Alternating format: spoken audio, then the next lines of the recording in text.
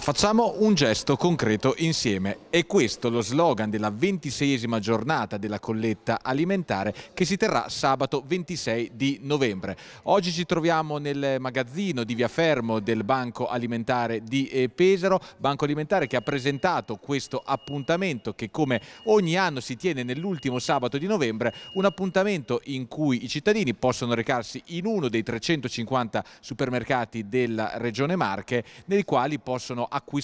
dei cibi che verranno poi eh, eh, consegnati ai tantissimi volontari presenti all'esterno delle strutture, dallo scatolame alle, mm, ai pacchi di pasta, agli alimenti per l'infanzia, all'olio, tante possibilità con un piccolo gesto di fare tanto per le migliaia di enti caritatevoli che, eh, avranno, che beneficeranno di questi doni. Una giornata della colletta alimentare che cresce di ogni anno, come ci spiega Angela Tringali della Fondazione Banco Alimentare. Anche quest'anno abbiamo un parterre di più di 4.000 volontari in tutte le marche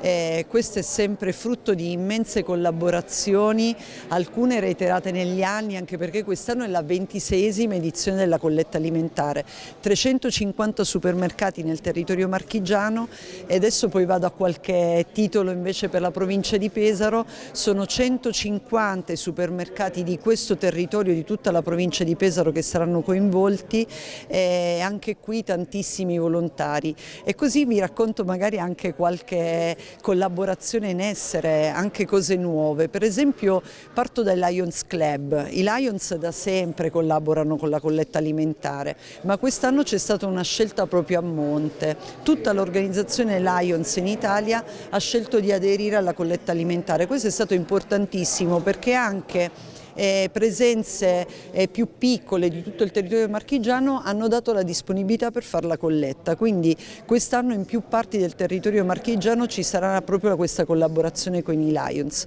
Un'altra cosa molto interessante di quest'anno è anche la collaborazione con l'associazione Ucraini. Questa è stata bella per noi perché è stato proprio un segnale, proprio una legge quasi di vita, che quando uno riceve un dono e un'accoglienza la prima cosa che gli viene da fare anche dopo è restare restituirla, per cui loro per primi che sono nati proprio come ODV per aiutare i bisogni che ci sono, si sono dati da fare, hanno creato due gruppi che ci daranno una mano durante la colletta alimentare. Poi altre particolarità di quest'anno, la presenza della squadra Well che verrà a fare un momento, un turno di volontariato allo spazio Conad e ancora il rugby che da sempre è al fianco del Banco Alimentare che andrà a fare un momento di turno al Conad 900. E ancora c'è da dire che quest'anno siamo stati sorpresi e onorati eh, dall'interesse del Vescovo che ci ha chiesto di iniziare il turno, eh, un turno in un supermercato, anche questo è il Conad 900 alle 8 e mezza, di stare un'oretta con i volontari e incontrare la gente.